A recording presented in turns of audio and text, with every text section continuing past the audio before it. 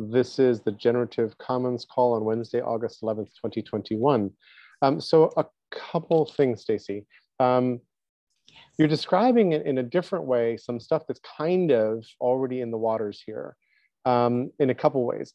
Uh, one of them is that I'm trying to figure out how to pitch people to attract money into OGM, uh, part of which is to fund internal projects that we would scope out and say, okay, if, if someone will build this under, you know, uh, with these guidelines of, and these deliverables, then we'll, we'll actually get them real money, not, not, not play money or cryptocurrency, which would actually also be interesting um, to do so. And it's, it's basically one of the puzzle pieces of this better all singing, all dancing infrastructure we need that I don't think can be done by one platform. That needs to be a, it needs to be a patchwork quilt. Thank you, Hank um, for it needs to be a patchwork quilt of a variety of different pieces of software and other sorts of things. And that's, I'm trying to figure out how to describe the role that OGM plays as the quilting bee dance caller, if I can mix metaphors for you. Um, then the second thing is that Phelan Morelife, um, who's been in uh, a, a, few of our check-in calls and a couple and some of the uh, Jerry's uh, Free Jerry's Brain calls. He has a startup that he's, I think he's managed to fund called Vergence, and it was called Vergence AR, but I said, why don't you just call it XR, uh, which is, you know, ex extreme reality, uh, uh, extended reality, whatever you want to call it. But basically in the space that you just said, um, oh, okay, good. So you, you, you've, you've spoken with, him. I just saw your chat back. So you yes, spoke with him. exactly and so and so he's the closest thing in the ogm set of orbits that is doing something pretty much like what you said. And then actually third thing, um, which I wanna talk about here is that um, the latest incarnation of how to make OGM actually work and actually fundable that, that is in my head right now um, is that we, we run a show and the show looks, smells and looks like a podcast and a vlog on the surface called Weaving the World. But under the surface, we're busy connecting up the ideas and mapping them, connecting communities and having important conversations. And it's the process, not the end product that matters. And in so doing, we're sort of uh, doing a reality show under the hood because we're reporting in and working openly on everything we're doing underneath. As we weave the mycelial links in the rhizomal networks of the great estuary that is the, you know, the, the place we're moving toward. Was that enough metaphors? Um, I feel like I feel like on a metaphor per sentence uh, kind of metric, I could do pretty well. Uh, go ahead, Stacy. So what about if we just step back and instead of weaving, we were actually creating? Well, uh, weaving is a form of creation, right? And um, and I think what you're saying is that when where this hits the real world is really important, which is I think why you're bringing augmented reality into the the, the, the mix here, which I agree with entirely. And I think some of that, I think a, a piece of that is in fact that exploration. Now, separately, um, I have written a draft. Uh, it's not a great draft. Pete had some really good critiques of it. I've written a draft document I can share with you. Let me just find the tab uh, and give you a link.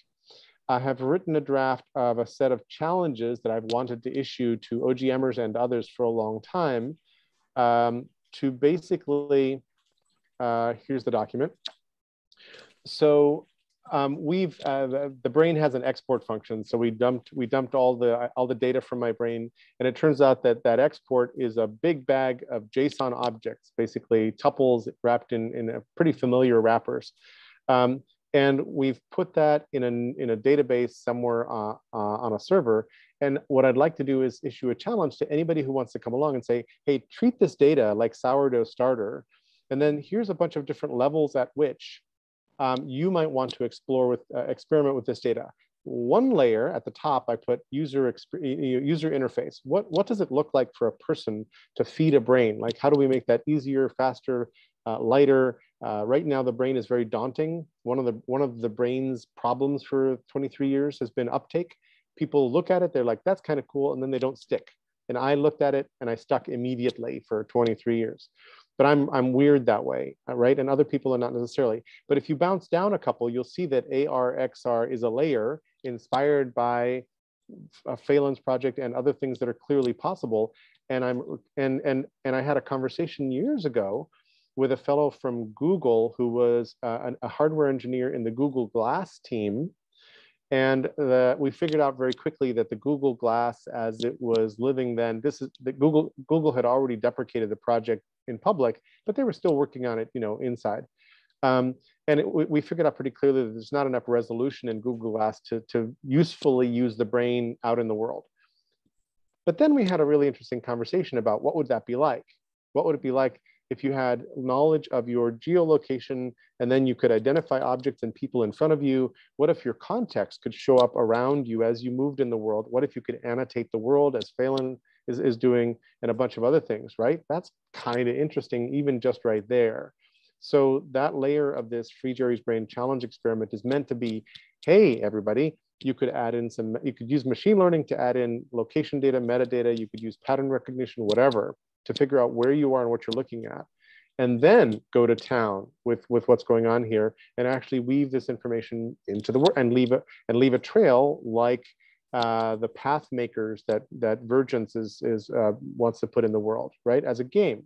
And, and if we do all this right, then the data layer at the bottom of these layers kind of uh, the data layer winds up being fed and nurtured by everybody doing this because instead of, uh, and uh, I don't think Phil and I have talked about it this, at this length, but with that, with, with luck, if this is designed right, as people leave new trails in Phelan's game, that data isn't kept in a proprietary game database. That data actually is put out into the data commons where um, I can look at it with the brain uh, and, and, sort of uh, and map it in and, and, connect it. And you could look at it with Kumu or Miro or whatever and still use that data that's being left around. It would be a shared asset, right? That, that from the perspective of Phelan's game would look like an, an extended reality experience in the world, but then all that rich all that rich data all the markers that are left in the world would be for all of us to, to sort of use in, in more interesting ways and that I, so that's like eight things. Sorry, I went down for for all the different things,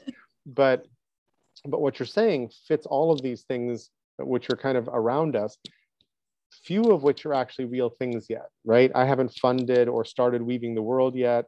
Uh, and then uh, one last thing, uh, the thing that weaving the world would be weaving is the big quilt, and I think I, I, think that that then uh, you know, you know I think that that then is the separate shared commons asset for the world, and our, our name for it would be something like the the, the big quilt. Somebody else might call it something else, uh, but that would help us kind of separate the podcast show thing from the asset itself, the shared asset meant to be for the commons.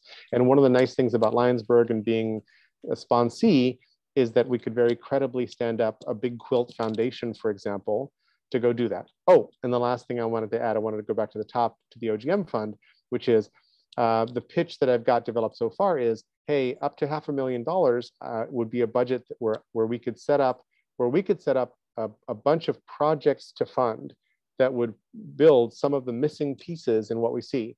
If we get more than that up, like let's say another half million up to a million, that goes into an OGM fund, which goes to organizations that have projects that are building out parts of this. So I think it's it's kind of what you were saying earlier. It's a it's a it's a an entrepreneurial investment fund for the commons and for companies to design their products toward the commons.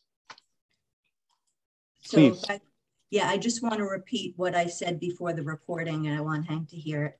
Yeah. Um, I want to because also keep in mind I'm focused on the Muggles. So the part of that you just explained, that's for you know the back end.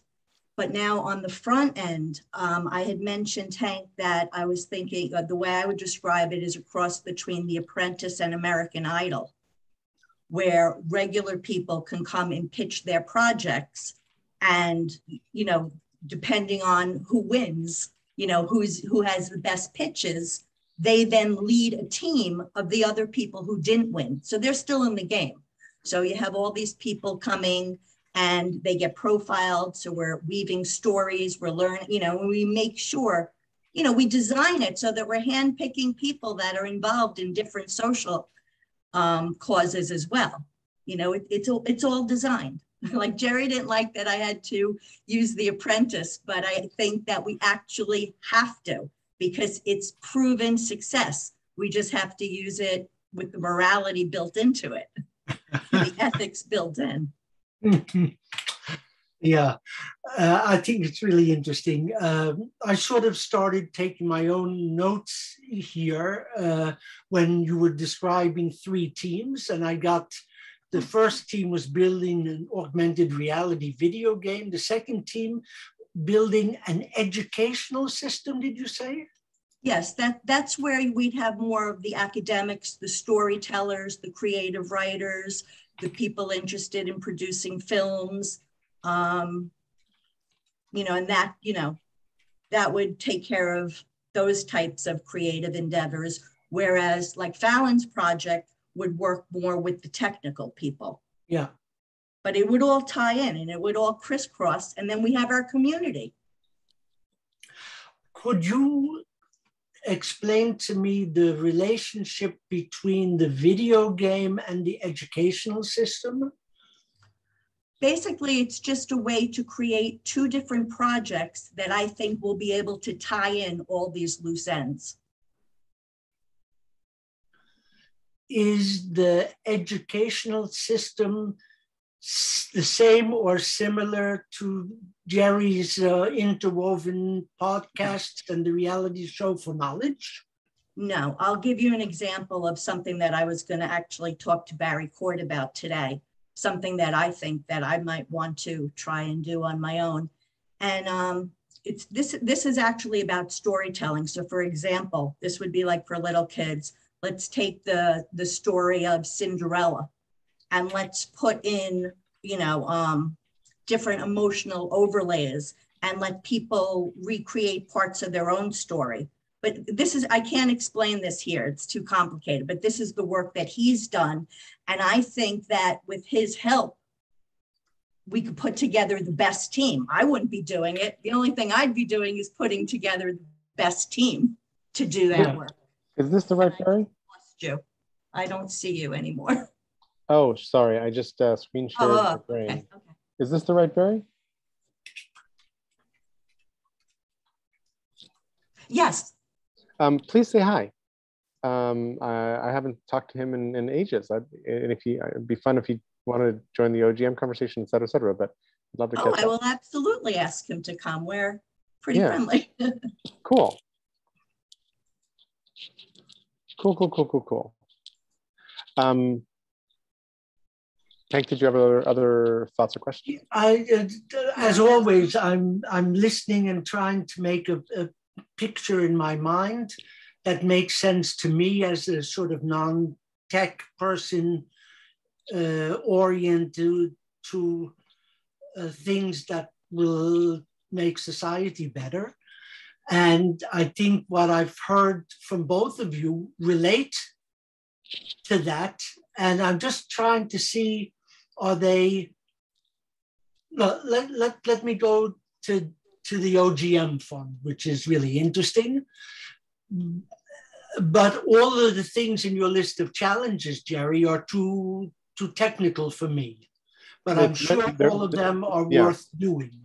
They're meant to be technical. This is for yeah. geek, this is a geeks yeah. challenge at, yeah, very, exactly. at various different different levels of design.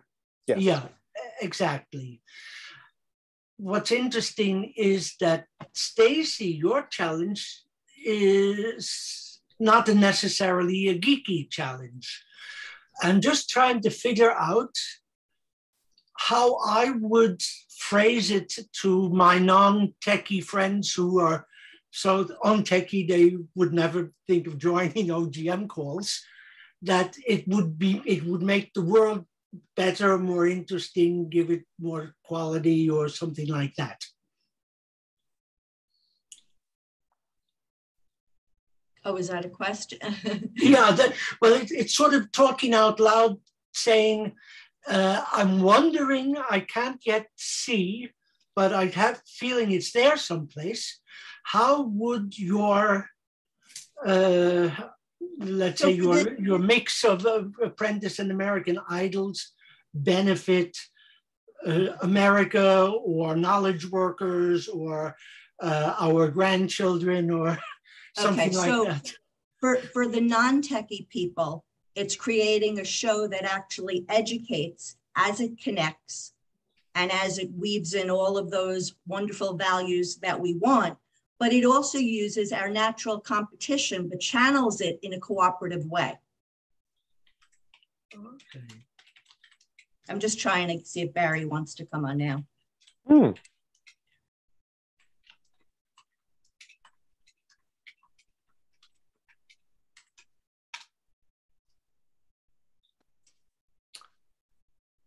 Uh, Stacy, you were there, or no, were you there or weren't you there on yesterday's uh, I was there. Uh, community uh, food service call? Oh, no, I wasn't there. I missed that now. Uh, well, it started off very interesting and then became a very frustrating experience. And I got an insight after after it finished and I was triggered by something you said a few minutes ago. You're not going to do it. You're just going to put the team, the right team together to do it. And that seemed to be a big sticking point yesterday. And maybe you, you agree or disagree, Jerry. Uh, some people were saying that the nine people on the call were the team to do it. Others were saying this is not the team to do it. And we have to find the team to do it. And I'm just wondering if that's not really something on a meta level for an OGM fund or for OGM in general is exactly that. For whatever somebody wants to do, like Klaus wants to do that, and Stacy, you want to do that, and I've got things I'd like to do, and everyone has things they want to do. Can OGM uh, benefit the world by getting the right people together and giving them the ball, and then they run with it. Mm-hmm. Um, and yesterday's call was kind of messy and bumpy. It seemed. Uh, one of the many issues was what is it, right? Yeah. Is, is this the right time to do? Is this the right team to do it? Well, depending on what the it is, and and you know, the, the, people who happened to be on the, the food systems call yesterday uh, were a mix. Like some people on the ground in different parts of the world, like trying to actually do food systems work. Uh, other people uh, coming from a very entrepreneurial perspective. Other people, systems thinkers, etc. Um, and and my my own conclusion was we have to go through some kind of analytic process to figure out what the it is. Where where where this group of humans, not a team yet, is going to apply its energy in what form. And then once we identify the it, then build a team around the it. And that, that would mean very likely recruiting some new people in with new skills, et cetera, et cetera, et cetera. Um, and then there'd be a team that, that's sort of going after that particular thing. Um, and, and the idea of the OGM fund is pretty much what you described. It's like, hey, how do we help form up these ventures and fund them? Yeah. And, and how do we, and and I don't know if this is necessarily true, but how do we help form up the, the commons benefiting parts of, of all these ventures that don't necessarily have a business model canvas and a business model, but that we think if we add these features to even commercial offers, um, the world will be better off at the end. Yeah. Right? Yeah. How do we how do we help how do we help weave the parts that help nurture the commons? Go ahead, Stacy. I'm sorry, I'm trying to, Barry's asking me for the Zoom and I don't know how to send it. I'm going through all my old emails. Oh, hold on, hold on. I can give you an invite. I can uh, uh, copy. Can you, it, can you, put it in his Facebook Messenger? Because that's uh, what we're talking on. Uh, can you just copy and paste that link that I just put in the Yeah, Zoom? for whatever reason, I was having, now that, okay, for, this was another thing I was going to ask you about. Yeah something happened to my computer and when I click on these links, it won't click. I'm going to try. I just copy and paste it. Don't don't click it right now. Just copy it and then paste it into your chat with Barry. I know, but it's not. It's just saying select all and then it selects the whole entire chat. Okay, you can't drag your mouse oh, across. Oh, wait, wait, wait, wait. No, I don't know why it's. Uh, I'll, I'll just, I'll figure it out. I'll... Hold on, let me uh, go find Barry.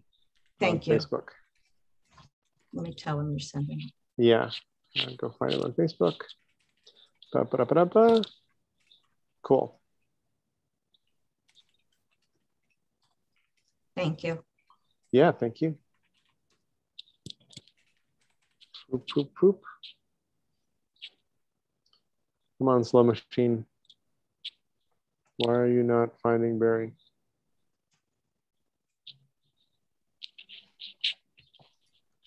If you, uh, Stacy, if you give me uh, a WhatsApp uh, or an email address, I'll email the link to you. 27. Ooh, uh, is that, that's, uh, that's WhatsApp? 27, no, it's, it's Gmail. Oh, Gmail. Uh, 27? Uh-huh. yeah. O open heart. Open heart. Yeah. At gmail.com. Uh, so I just I just gave him the link uh, in the Zoom in in Messenger, so we're we're good. He should be okay. he should be joining us momentarily. Okay. okay. And I didn't even get to run this idea by him. oh, good. I was going to do it later today. cool. So yeah, Hank, to your point, I, I you know I want to go back and I don't understand um, you know what the problem was, but the way this whole idea works together and to have the two different tracks sort of yeah. solves for who does what and that kind of thing. It sort of separates yeah. people. Hey Barry. Hey Barry. Small Hi. world Barry. Oh, you got a haircut. Yeah. they sent around a reminder that the uh, salons are open and they were offering a nine dollar haircut, so I went in. Sweet. I used to get ten dollar haircuts at Astor Place in New York. Yeah. It was like Usually a ba- basement usually, barbershop with like 50 chairs in it. Yeah, usually they're like 20 bucks or something. I think less for seniors, but for nine dollars, you know, and and a tip, it's not. couldn't pass it up. No wait. Um, so we're in the middle of a very interesting conversation. Um, this call is being recorded, just so you know. Um, cool. And my, my habit is to post them on YouTube and a few people, like a dozen people might watch it later. Um, and we're busy brainstorming. Uh, Stacy brought an idea into the conversation that marries nicely to a series of ideas that have been happening in OGM. So Open Global Mind is a thing that started at the beginning of lockdown. So it's, you know, 16, 18 months old now um, and is about being open-minded and is about building a global brain and is sparked partly by my 23 years of feeding, you know, the brain, uh, etc. But then has a whole bunch of other aspects to it because um, one of the beliefs behind Open Global Mind is that uh, emotion and membership trump reason most of the time meaning I could present to you the most beautiful, irrefutable argument in the brain or in Kumu or in something else with evidence that like nobody would deny, but if agreeing with me meant you would be rejected by your tribe, you would happily gaslight me and say next. Uh, and that's happening. That's like, that's what our world looks like right now, right this minute. And, and so and so I think there's there's value in both there's clearly value in both sides. There's value in trying to figure out how do we make things easier to understand, uh, which could affect education, could affect governance, could affect science, could affect everything. And then how do we bridge the, the divides that, that separate us, that make us unable to trust each other enough to even look at or use the, info, you know, the information. Um, and so we're trying to do a little bit uh, all at once. And Stacy, if you want to play tag team and sort of pick up a little bit and uh, uh, put whatever parts of that you want to put back into the conversations to catch Barry up. Well, I, I actually want to answer Hank, and Barry might get something from it. Um, okay. If I just remember my train you have to reload that yep. back in your brain. Oh, so getting to the thing with the personalities, the idea of putting it into game form is everybody gets to play their own way. That's how it's designed, and that's the important piece. Yep. Yep. Okay. Yeah. Clear. Uh, well, one uh, one additional question: Is it a zero sum game with winners and losers, or uh, does everyone win? Well, that's the thing. Everybody can win, but also everybody can win to a different degree, and it's really so. I mean, you can you can. Let's say you start off doing something your own way, and you yeah. see somebody over there seems to ha be having a much easier time you can go and make an agreement to join them, but the group has their rules and So if you want to go there and they wear masks, you have to wear a mask. But you have a choice to not and not yep. wear a mask. Yep. Yep. Clear. The main part of this, and Barry knows bits and pieces because he knows I was trying to work on something with Michael Josefowitz that had something to do. It was a game show, it was part reality, it was part research action project. Um, so the idea really is creating a space that everybody can try out their hand at whatever it is they think they want to do, but they're doing it in community and there's a fun to it. There's a competition, um, a creativity, and everybody gets involved. You see, this is where the game part comes in, in terms of dealing with the muggles. They can weigh in the same way you like a post. So you're voting in that way. And everybody, every mother knows that the way to get a picky eater to eat is to help them create the meal. Mm-hmm. But that's where I'm coming from on this. That makes sense. Or, and or to hide the broccoli. well, I don't. Want, but that's the thing. Society has always tried to hide the broccoli. I know. And kids, people like me, we don't want to be manipulated. We don't want to be lied to. Barry knows I'm always saying, I hate this idea of hiding things in stories. Interesting. Huh. Um, and uh, so uh, Barry, partly we're we're playing with like how to how to create projects that can actually do these things in the world. Um, and uh, OGM is currently a fiscal sponsee of a 501c3 called Lionsberg, which is a fan of steward ownership. Are you familiar with steward ownership? Never heard of it. Okay, I hadn't either. Um, steward ownership is an interesting ownership model that is meant to be durable and hard to sort of hard to take over. It's a kind of impervious to hostile takeovers, et cetera. The simple version is there's a nonprofit that owns all of the shares of a for-profit. So a 501c3 owns all the shares of a C Corp. So anyone who joins this, there's no discussion about who gets diluted, who gets more shares, because all the shares are actually in the nonprofit. You can pay salaries, you can, and on top of this platform, you can do for-profit ventures or for benefit ventures, and, uh, and also like foundational ventures, all of that. You know, this platform is good for a variety of kinds of business models. Uh, and it's really hard to take over unless you lose control of the foundation of your own 501c3 and so Lionsberg is has has um, is trying to bring a bunch of other entities into this kind of ecosystem where these sorts of platforms exist, and then and then it's trying to foster a series of of entities that are building different parts of the modern ecosystem. Uh, and they, you know, I had a conversation with the founder of Lionsberg, a guy named Jordan, uh, some months ago during lockdown, you know, in a Zoom, and um, he saw that some of the stuff that Open Global Mind was doing was of the nature of it would feed the ecosystem he was looking for. Uh, it would make a really good candidate uh, to be on this journey. So that's kind of where we've been. And I'm at the stage now where where we are a fiscal sponsee of his charity, of his 501c3, which means we can raise uh, grant funds for a charity. And I'm still trying to figure out what is it that I'm pitching for because in our very interesting conversations inside of OGM, this thing has sort of morphed. It's a little bit like nailing jelly to a tree, uh, which is the title of a book way back when.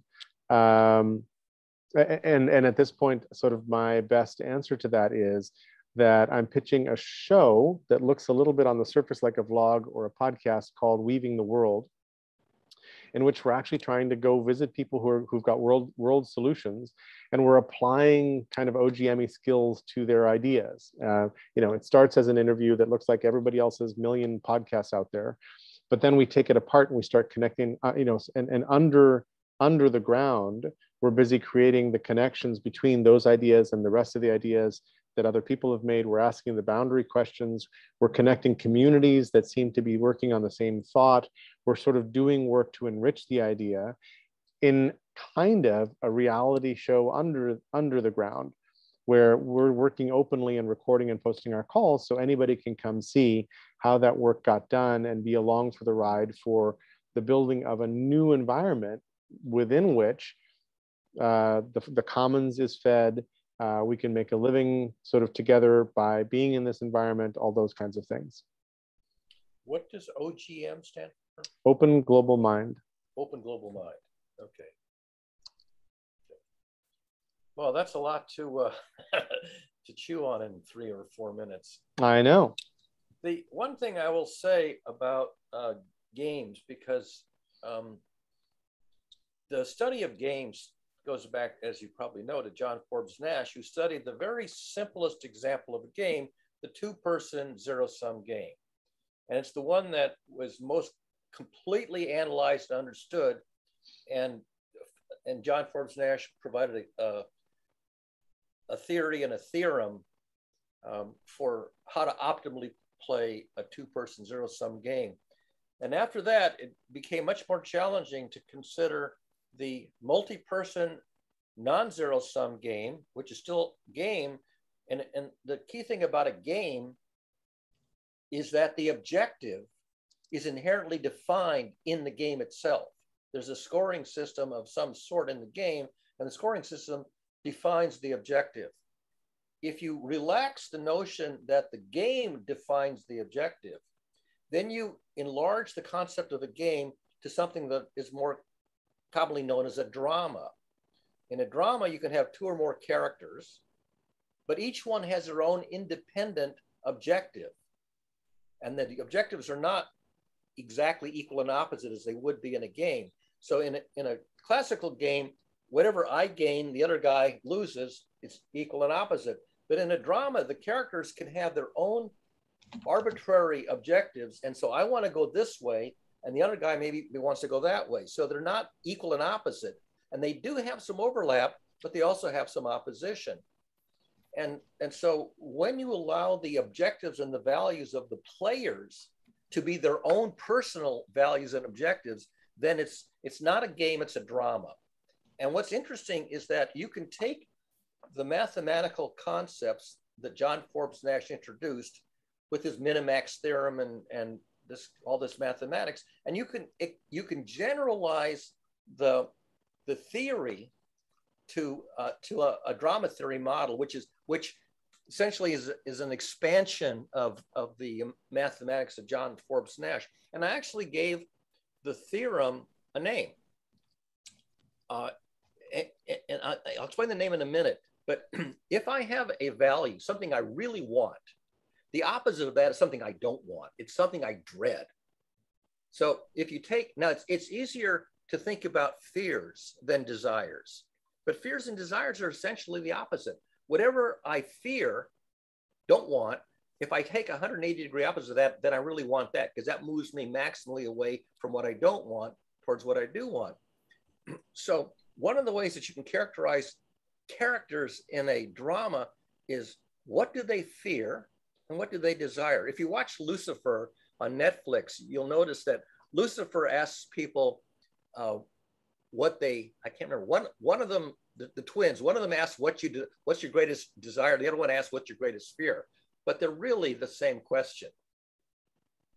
So one day I was in the airport waiting for an airplane and I, I wandered past the bookstore and I saw a book title uh, by Tom Clancy, you know, the, the spy novelist. And the title on the cover was The Sum of All Fears. And that got me thinking because, first of all, the sum of all sounds like a mathematical uh, beginning sounds like an inter- sounds like an integral, integral, yeah. Yeah. So I thought, well, suppose you have a cast of characters and they all have idiosyncratic fears, which are not aligned and not opposite, but they're sort of random directions. How do you how do you take that and make that into a drama? And so one of the ways to think about it is um, in, instead of an axis, imagine that I've got a plane. So I put all the, the fears in a two-dimensional plane. It's easier to model it than in more than two dimensions. So I'll put each character around the perimeter of the circle. And on one direction from the center is their fear, and the other direction is their, desi- their opposite desire. So now instead of a teeter totter, which is what you have in the two person game, you have a wobbly uh, plate. And in order for the drama to have continuity, the net vector sum of all fears has to balance to out to zero so that the so that the action will wobble around, but you won't have the whole thing being blown over by one character overpowering all the others. So this, this continuity theorem, I call it Clancy's theorem. And, and I take the, um, the hint from Shakespeare. Shakespeare wrote a play called Much Ado About Nothing. So the vector sum of all fears has to net balance to zero, but it's dynamic. So the plate wobbles and that's your action. So what happens is one character does an action and that triggers another character somewhere on the other side of the plate. And that character reacts, but their reaction doesn't, doesn't necessarily trigger the first character. It might go off at an oblique angle and trigger a third character who then reacts to that. And that reaction triggers a fourth character.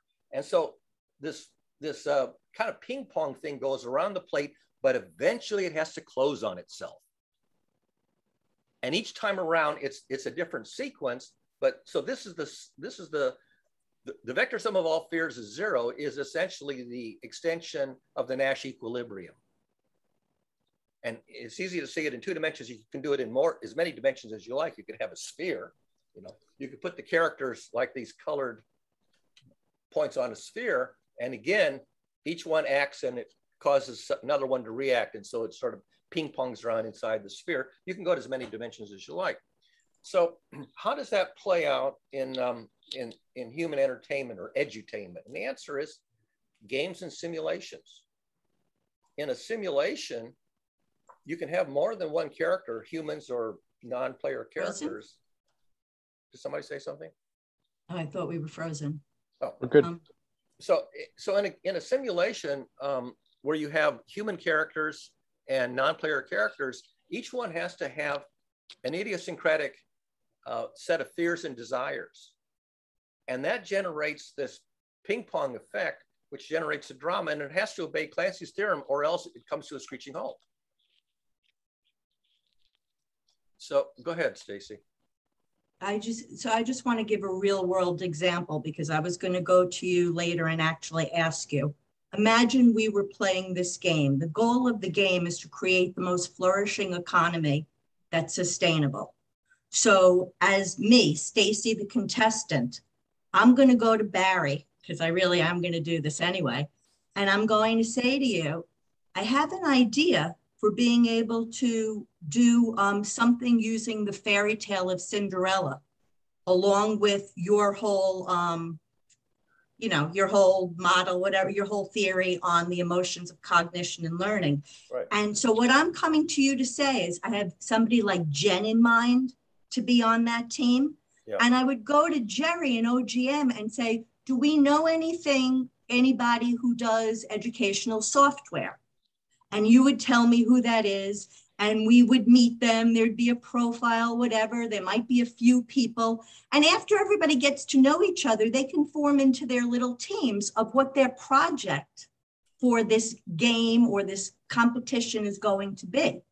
Now along the way if i'm and i i know i'm who you know i'm going to pick. I think i'm the best director let's say for argument's sake. We all think we're the best director so I get to direct my show, and my show is the team, and I am picking to lead the team Dr. Barry Kort, and I am picking, you know, so and so, and I am picking so somebody else for business that I that you know, like when you go on Shark Tank, and you you know that kind of a thing that's where the game comes in but that's where people's personal passions come in and that's where the drama comes in too because we're being watched. That's the reality TV show aspect of it. So conflicts are going to arise. We, and, and that could bring up bring in a whole i mean there's so many different sprouts that could come off of this that's why it's so difficult to talk about yeah i'll stop yep. Uh, so you talked about um, optimum economy i think was the term you used well, I want to use the term sustainable economy. Okay, so uh, let's talk about that for a minute because I want to show I want to show a slide here. Um, let's see if share screen is working. Should work. Okay, so let's see. Are you seeing a slide that says multiple interlinked economies? Yeah. Okay, so usually when people think of an economy, where's my mouse? They typically think of the classical material economy, the exchange of goods and services for, for money. Okay.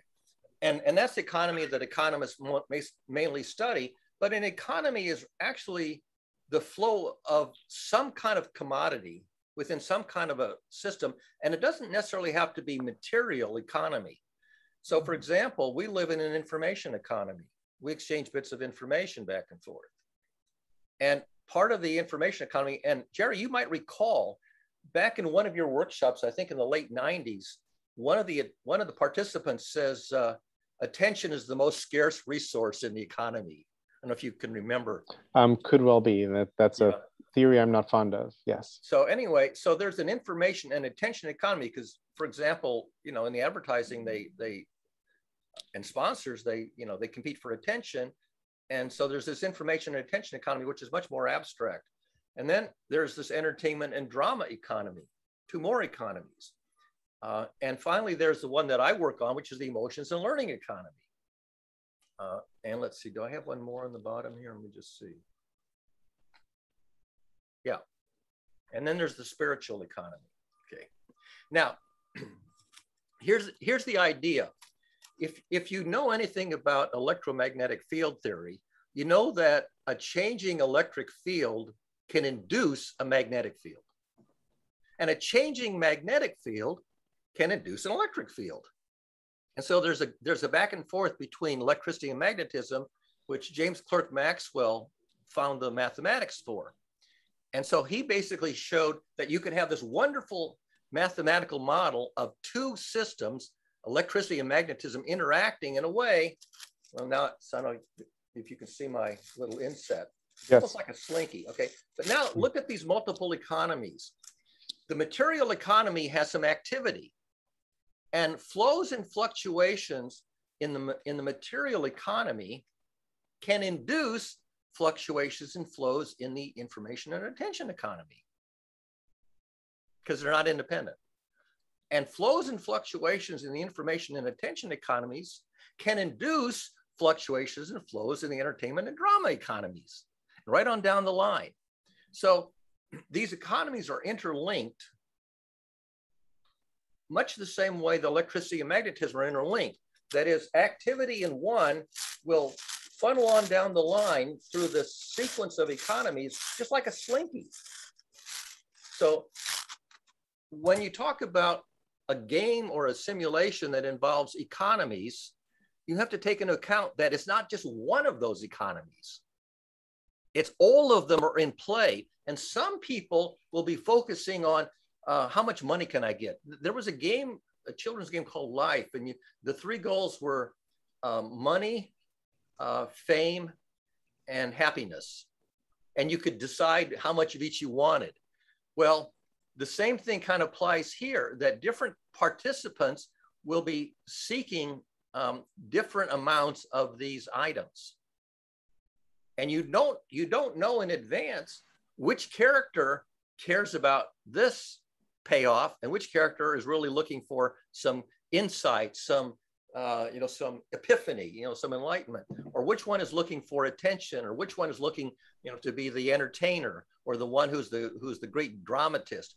So, when you think about real life politics and science and religion and philosophy and all that kind of stuff, or even a simulated game, you really have to say all of these economies are in play among the characters, and to the extent that you can um, rec- reckon and recognize the interactions among these, you can become a better player in whichever economy you're mainly investing your time and energy in. I think I'll stop there because that's probably a lot to think about. So I won't say too much more until we get some reaction. What I just put in the chat is that this particular game, the way I'm envisioning it, it's designed so that the current the uh, dominant currency is actually fun and fulfillment. It's set up that way. Emotional That's satisfaction. Exactly. Okay. And the rest will come. So it combines all those economies that you just had on that chart. Right. I'm not sure fulfillment equals emotional satisfaction in my head. Well, the way I'm trying to express it, it does. So. Okay. Ask yourself the question: Are we having fun yet? Uh, fulfillment, exactly. Yeah, but fulfillment be... to me isn't just emotional. Oh yeah, fulfillment has a certain. Does it give meaning and purpose to life itself? Is it not just a diversion? Right. You know, just an escape from the humdrum, but am I actually growing in character? So that I feel more connected to the world and more connected to the cosmos or whatever you want to call it. You know, that so there's fulfillment as spiritual fulfillment as well as economic. Like, do I have material well being, but I have emotional well being? Right. So the reason it was put into a game, though, is to allow for that um, indoctrination to how we feel about money to be taken out of the equation. That's the main purpose of making it a game. It's not that it's not purposeful and that it won't do some really great things. It might do amazing things. But yeah. that's why I say we're actually creating the world. What would an imaginary world look like that we created that's designed to create this kind of economy? And to just add one thing that might make it clearer, this idea started with a question What would an economy designed to support cultural creatives look like?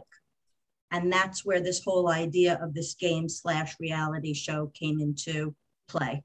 Yeah, yeah. So, so the, what the drama does, it creates a story.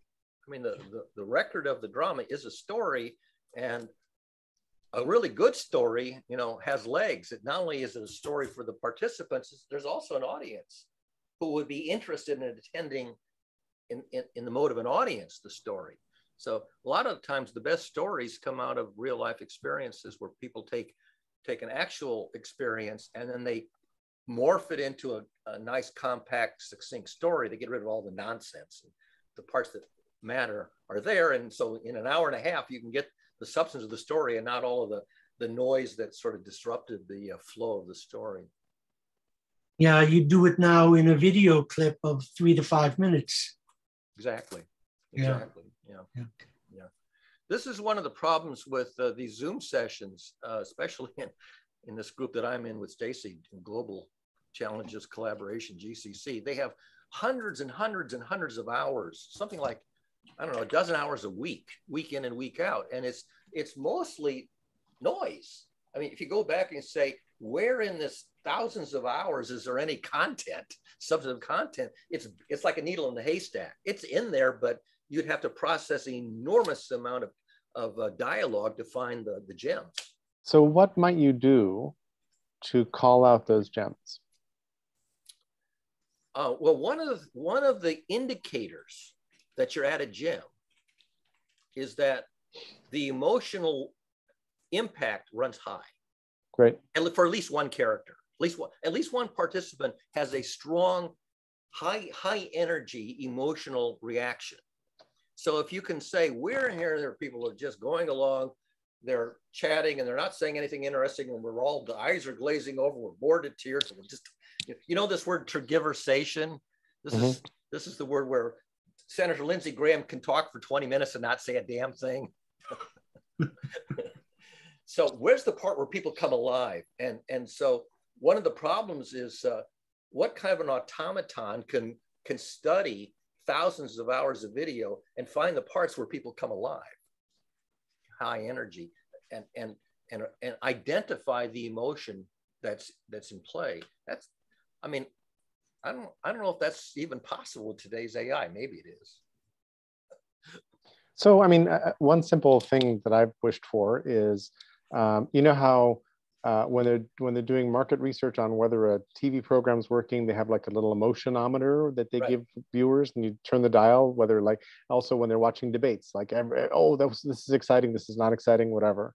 But what if there was a what if there was a much more interesting and useful sort of little control panel where when you hit something you that was that was just noteworthy, you would tap a button uh, or or click a tag or something or other. So there would be some artifact where you could note, hey, this is meaningful. And then you could also look at, of all the participants on this particular Zoom, uh, if more than one of them had a moment at that moment, that's an important moment. So you sort of use collective information to call the pieces. And then, um, I mean, during just, uh, let's, uh, let me just share screen for a second. So, so during this call, I have been uh, curating. Hmm. And so here's Drama Theory, your page from your website at MIT. Uh, here you are, Barry. I haven't updated you in a long time, uh, but I've now got you under Drama Theory, which I didn't have in my brain at all. I didn't have Nigel Howard in my brain before, but I did have operations research and theories and drama. Uh, and then you mentioned that drama theory was inspired by Much Ado About Nothing, which is a Shakespeare play, which was already in my brain, uh, and also inspired by seeing the cover of John Clancy's book, The Sum of All Fears, which remarkably I didn't have in my brain yet. And that was like, Jesus, seriously? And I didn't have the movie, The Sum of All Fears, but I did have Ben Affleck in, in my brain. And so here's Ben. Uh, and so hold on, beach balling, because my computer's like running hot. There we go. So here's Ben Affleck, right, with uh, Jennifer Garner and Casey, his brother Casey, and and so on and so forth. Uh, Bennifer is the single uh, word noun for the couple, and there's that's next to other couples that have single names, uh, like Dick and Liz and uh, TomKat and so forth. Anyway, and these these are other movies that Ben was in. So I'm busy doing that during our call. And if this, if what I was doing was timestamped and coordinated with the call, which it ain't, uh, that would then allow multiple participants in the call and anybody viewing the call later to create a rich and interesting annotation of what's going on, right? So here's Clancy's theorem, which I haven't put an explanation in, but I added it. So I'm going to connect that to uh, Sum of All Fears and, and actually uh, Tom Clancy probably. Uh, but but and here's your Shkreli onion layer character model, which I didn't like download into it, but I saw it on the page because I've got your page here in my browser, right? Because I went and looked up uh, drama theory. Right. Okay. So I'm I'm doing this curation during the call, and I do this all the time. Pete Kaminski is a really really great maven on calls. He's not curating a shared memory, but he has the uncanny capacity to go discover something, research it quickly, and then put the best possible links back into the group. and that, and he, I think he calls that context weaving. And I think that's a skill people need.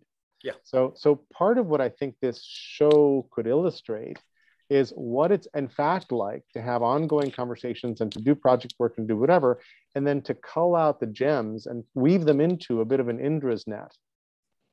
Who net? Indra's net. Indra's net is this sort of uh, uh, long ago concept that there are little little nuggets of wisdom that are woven into a large context, or the glass bead game, or uh, what there's a, a, bunch of sort of different metaphoric ideas about what this might be like. Uh, words, words of wisdom. Proverbs. Yeah, exactly. Uh, but how do we how do we weave them into a context that is easily accessible to people, more accessible than that brain thing? because I just gave you a tour through the brain, which when I give you a tour makes sense probably. Um, but if somebody just drops in there by themselves, they're like, man, there's a lot of words here. Um, so we're trying to solve for some of that. By the way, um, that that art that encyclopedia article that you showed a bit of, that I showed a bit of, um, the the uh, emotions and learning model, the drama theory model, the uh, the interlinked economies model. That's all in one page on Google Sites, but it's on Google Sites from the original version, and Google is changing Google Sites to a new uh, system, and the conversion is a disaster. Well, they got rid of the side nav menus. I'm a huge fan of Google Sites. I use it all the time to build simple sites. So and I've, point, I've actually grown fond of the new of the new flavor. My point is is that I don't know how badly munged that art that article will become when when I'm forced to switch over to the new version, which I think the deadline is this fall. Could well be. Um, I, you might just want to like uh, grin and bear it and, and go give it a try. And you might be able to roll back or still find the old version or just export the old website and put it in something else. What I, I may do is, is save it as a PDF uh, because it's not just that article. I got a ton of stuff on Google Sites. I bet. I bet. Some, some pages map over to the new version. Okay, some a disaster. Yeah.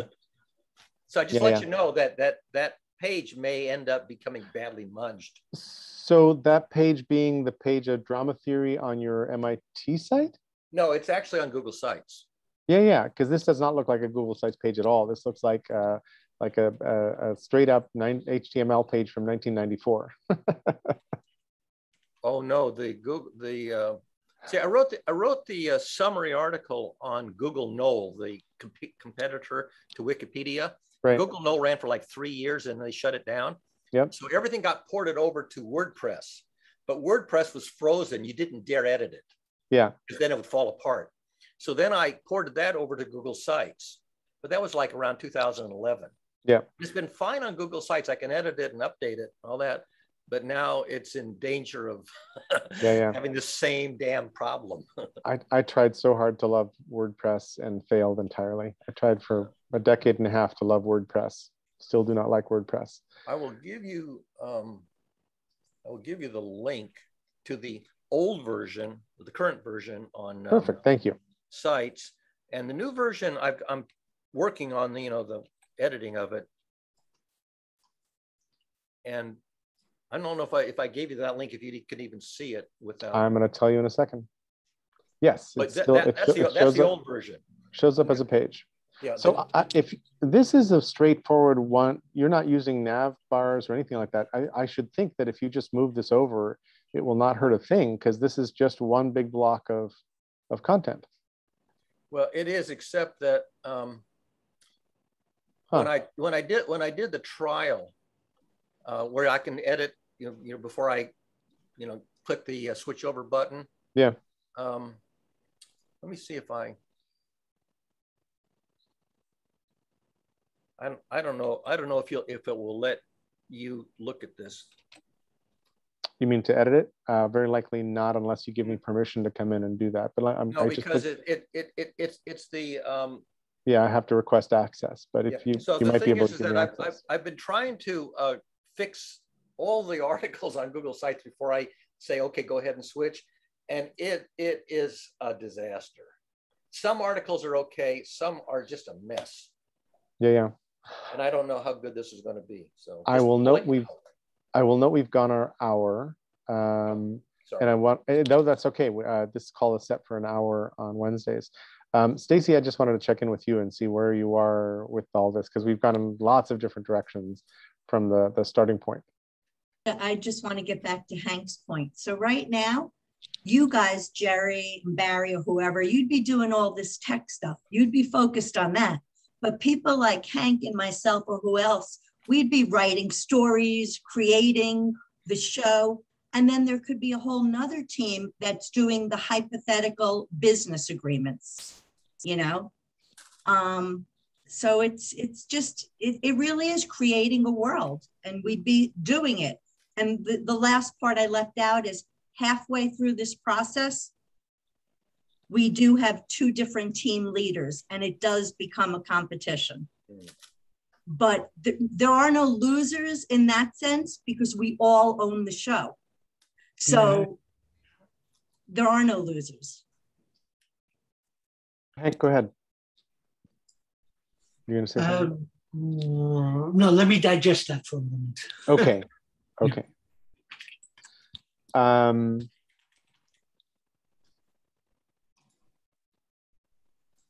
So, so Stacy, you're sort of trying to preserve the popularity and simplicity of combat style shows like The Apprentice, while creating a non-zero sum environment where the game. And are you familiar with the concept of finite and infinite games?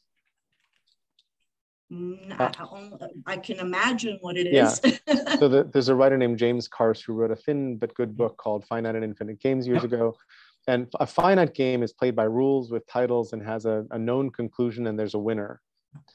An infinite game, uh, basically it's like Calvinball. All the rules are changeable and the goal of the game is to continue playing the game. Exactly. Um, and infinite games are more interesting, they're more compelling, and you know, et cetera, et cetera. But our world is structured for finite games. Like employment is a finite game. One person holds the title of VP of marketing at a time. That person has rank and authority and responsibility that other people don't hold and can command other people to do things. So your, your traditional corporation is designed sort of as a finite game. And I think this, there's an interesting boundary here uh, in, in and I don't know if game theory has looked into this, Barry, but but into how to turn more of our shared life experience into an infinite game where the commons is enriched as we go rather than zero sum games where the commons is sequestered and depleted as we go, which is the model we got. Like capitalism is a finite game as it's designed presently. It doesn't need to be, I don't think, but it is. Like right like, now, it absolutely is. It's like Monopoly. Monopoly was designed as a send up of capitalism. And when one person has all the wealth, the game ends. And everybody else uh, is, is, impoverished. Yeah. It, it, was a critique, uh, it was a Georgist critique of, of early capitalism. And right. that, to- that totally failed. It became the model of capitalism. Right. and the fact the fact that one person ends up with 100% of the wealth and everybody else ends up bankrupt was seemed lost on the players of the game. Totally lost. Yeah, so that was like, oh, good, I won. I won. You, right. you're destitute. I've won.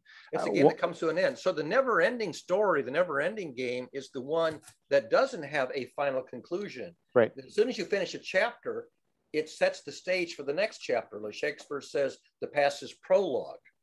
So the the the, the previous uh, round of the game sets the stage for the next advanced layer. It's like each meta layer each yep. layer of abstraction. But as the as the layers of abstraction get more and more abstract, you lose more and more players because they can't process at increasingly higher levels of abstraction. When you get up to sort of the the divinity layer of abstraction, you've lost practically everybody.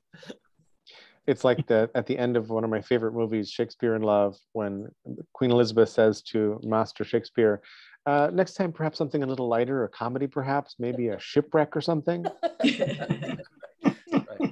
Um, anyway, I actually have to I actually have to boogie from here. But but um, Stacy, thank you for starting this. Thank you for luring Barry into our quick, into our nest. Yes, please. Uh, real quick, I just want to say that's why this game is an experiment, and that's why at the end it comes down to two teams because it'll be the leader that thinks we have to do it old school, that this is the way it has to be, and then on the other side, it will be the leader that says, no, we can try something different. And then we could see which one works. Why only two? Because that, that's at the end. Because the whole idea, I mean, optimally, everybody would want to be on one. That would be what we'd really want. But Team we want humans. to leave room for people that want to do things differently. And here we can bring in Doug Rushkoff and his idea of Team Human. Oh, yeah. Um, thank you for a great call. yeah, th- and this could be episode zero of the whole series. Absolutely, where it began. Sweet. All right. Um, thank you. I will post the recording. Uh, Barry, uh, if you're okay with it, I'm going to add you to the Google group that represents uh, the OGM conversation. And then I'll, in that, I'll send you a link to the Mattermost, where you, Mattermost is a Slack-like thing. I don't know if you're using either Slack or Mattermost. Uh, but on Mattermost, we have a bunch of frothy discussions. Like our, our interesting conversations are happening over on Mattermost. So I'll send you a link. You just register for a free account. Uh, and you can then find us talking merrily away on different topics in different channels on Mattermost. Super. Thank you. And and lovely to be reconnected with you. So yeah, it's been, is, it's been a while. been, been a gift. Uh, and now my now your your your brain location is more is richer is the richer for it. So thank you. Fabulous. Thank you. Bye, guys. Bye bye.